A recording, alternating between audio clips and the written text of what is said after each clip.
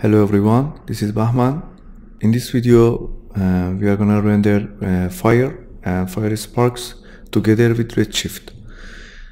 So we are gonna use a sphere as our fire source. I'm gonna use the Phoenix FD preset for fire. Just checking the parameters, size 100 10 and here I'm gonna change it to volume inject.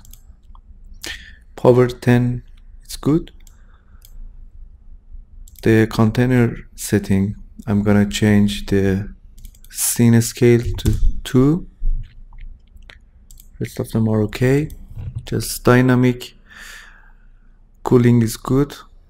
Just I'm gonna keep with the classic vorticity. Everything is good. Just uh, as you remember in previous uh, video we used to save as a VDB and import it in Redshift directly. But this time uh, because uh, we are gonna use it uh, as a advection source so we can add the sparks later I'm gonna just save it as a default format of Phoenix. I'm gonna just save it. The drive name of fire Phoenix FD default format. And channels I'm gonna save temperature smoke and velocity. So uh, everything is okay now I'm gonna simulate it and then we will continue. So now the simulation is done and next step is to convert the Phoenix default format to VDB format. If you just press Windows button plus R you will have the run window. And if you just uh, type in CMD and here you can just uh, run the converter tool that comes with the Phoenix and it's in the Phoenix folder in your uh, which version of Max you are using. I'm here copying the address and in here if I just see the control V and the command is like uh, cache underline converter dot exam that source file which is I saved it in C drive in sim folder name fire underline because it's sequence so we have to put 4 and it's default format of the Phoenix so it's AUR space dash destination file which uh, an address uh, which I'm gonna save in the same folder which is gonna be C in the name of I don't know out. Underline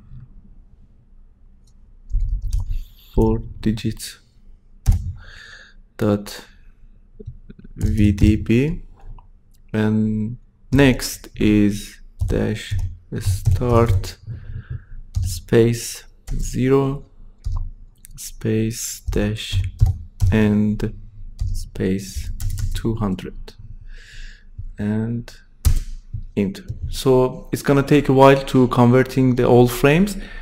So when it's done I will be back. So now the converting is done. If we go to redshift and bring our volume grid and load our cache that we saved. I will align it to our Phoenix source. And now we can just hide our Phoenix we don't need it anymore. So next we have to assign the shader. And before that we have to just change it to redshift. And bringing the material editor choosing the shader redshift volume shader and assigning. So uh, here we are rendering fire uh, we are not gonna see that much smoke in our render but for uh, working properly the shader needs to have also the smoke channel so because if you don't input here it's not gonna render your fire. And in emission we are gonna just put our temperature.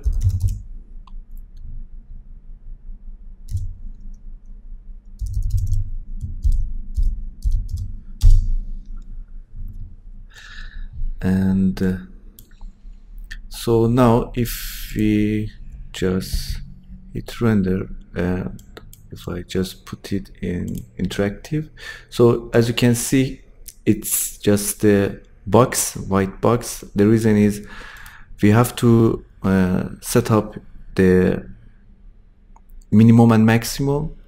So uh, in the emission part if we just put 1200 and in max 2000 so as you can see now we have our fire.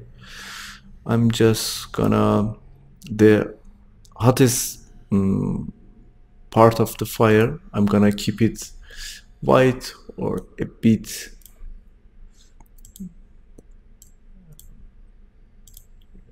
yellowish. And if I just add another one and make it orange and I'm gonna add another one and make it black. Putting it around here. Good. So just if I just increase this one to 5 and I forgot to disable rendering our sphere. So as you can see here mm, we have the fire. And uh, if you just play with this ramp you can have your own color range and it would be good to go. So as you can see, we are not seeing a smoke, but if you don't input a smoke channel, you are gonna lose the whole fire. So in that case, you have to just input the smoke channel. So as you can see, we have the fire. Now we can have the particles if we just unhide the Phoenix and hide the grid bring the particle system putting just a particle flow system and replacing it with the Phoenix nodes. When you install Phoenix FD you will have these nodes also. Phoenix with the normal one and Phoenix force is necessary. We don't need a speed rotation and I'm gonna deactivate the particle system because it's very uh, heavy calculation. It's gonna be very slow here we have to assign the Phoenix. Then in Phoenix force again we have to assign it. So we will start 0 and till 200 rate 5 is enough. We just need temperature channel so we did not use the smoke. As we change in the shader we have to put the minimum here 1200 and the maximum 2000 the maximum amount of particle that's gonna be make it's gonna be in the middle almost 1500 and here so this is enough and uh, next we are gonna change the shape of the particle to a sphere. Size gonna be one centimeter variation. And now we have to assign the material. So I'm gonna assign the redshift Candyson and we need the delete node and live 3 and variation of 2 it's enough.